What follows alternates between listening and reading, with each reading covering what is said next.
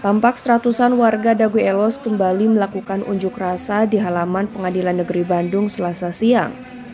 Aksi mereka kali ini dimaksudkan untuk mengawal jalannya persidangan yang menjerat Heri Hermawan Muller dan Dodi Rustandi Muller sebagai tersangka kasus pemalsuan dokumen Tanah Dago Elos.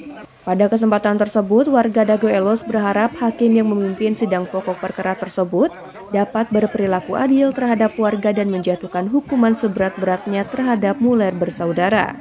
Para warga Dago Elos yang terdiri dari para pedagang, pengendara ojek pangkalan dan sopir angkutan kota bermaksud memastikan pengadilan negeri Bandung membatalkan sidang pra-peradilan yang diajukan pihak Muller. Pasalnya sidang pra-peradilan Muller tersebut seharusnya gugur karena hukum apalagi sidang pokok perkara yang telah digelar lebih dulu. Terkait aksi hari ini, ini merupakan salah satu bentuk uh, kepedulian warga masyarakat ya di Dago Elos, bukan hanya warga, melainkan juga warga pedagang dan juga uh, supir ojek dan juga supir angkot yang sama-sama kita ada di sini.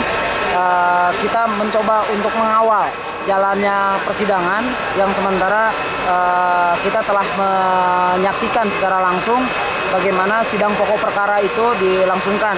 Dari pantauan tim Inspiratif di lapangan, selain warga Dago Elos yang melakukan unjuk rasa menuntut hukuman berat kepada Muller bersaudara, hadir juga puluhan gabungan ormas yang berada di pihak berseberangan dengan mengawal pihak Muller bersaudara. Situasi tersebut menjadikan pihak kepolisian melakukan pengawalan ekstra untuk menghindari gesekan dari kedua belah pihak. Dari kota Bandung, Jawa Barat, Bambang Prasetyo melaporkan.